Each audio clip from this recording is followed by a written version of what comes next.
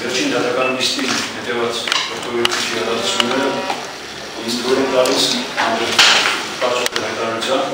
որով ես ուզում եմ հստակեցնել իմ դիրքորոշումը ինչ կազմակերպությունից։ Վերջին դատական լիստից հետո ուժած կողմի ներկայացուցիչ Բալոյանը դատարանի դահլիճի դուրս հարձակվել է իմ պաշտպանի վրա, անպատվել նրան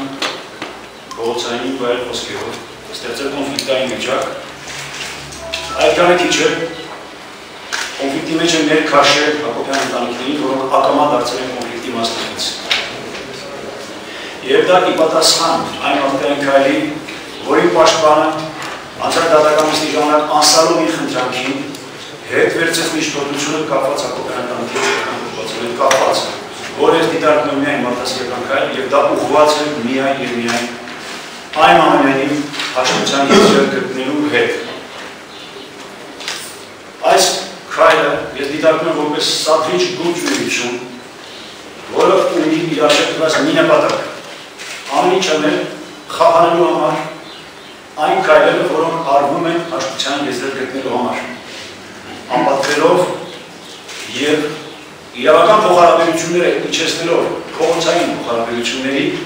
ստեղծելով կոնֆլիկտային վիճակ։ Ես հրաշալքում եմ ճանաչել դատարանում իրավական հարաբերությունները փողոցային հարաբերությունների իջեցնող մասնագետին եւ նրան չեմ ճանաչում որպես իրավական փաստաբան եւ այսուհետ հրաշալում եմ նրան տված դեպի ինձ հասցեագրված որևէ հարցի պատասխանելուց շնորհակալություն։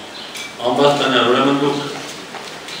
կարող եք հարցերին պատասխանել, երբ որ գա ձեր հարցակնության